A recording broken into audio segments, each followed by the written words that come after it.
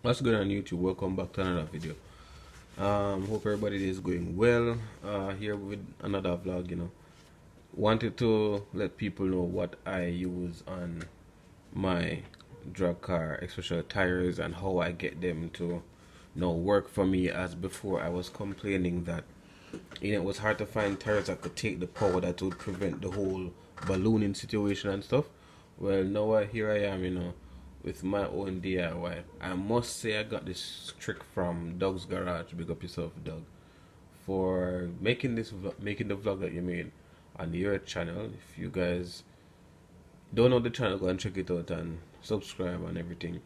But yeah, he I watched a video with him doing it with this tape.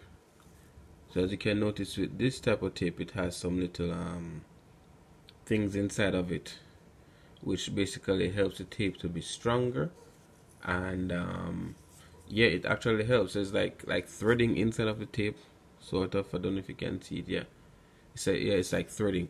So what I did different than what I saw him do is that I actually instead of one time going around the rubber with the tape I went I went two times.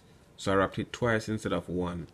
And that you know now comes to give me a perfect tire with no ballooning and can handle good amount of power.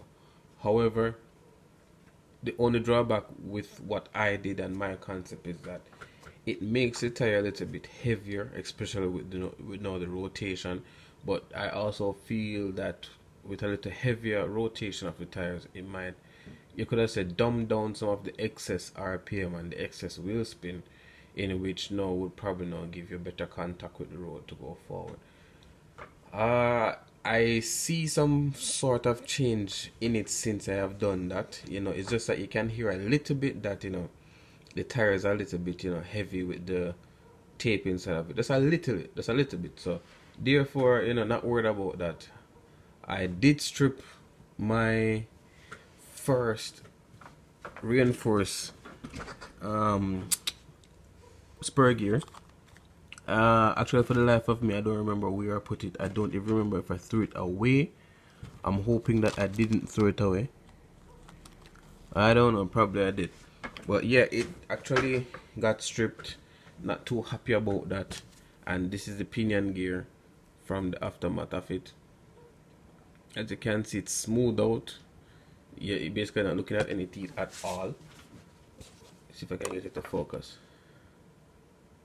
hold on see?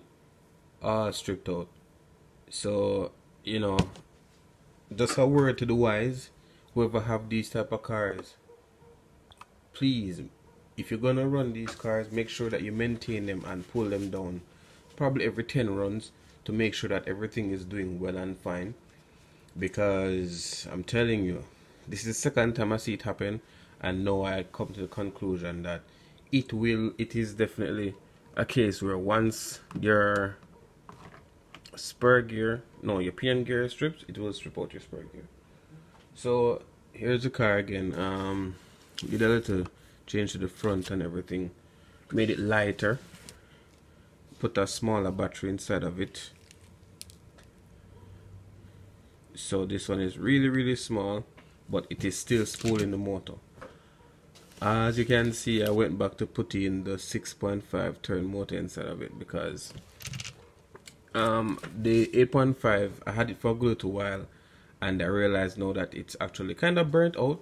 So I, kind of you know sw swap it back. But if anything when I'm, and I'm at a race meet or anything I can always go ahead and you know shift it back to that motor if anything.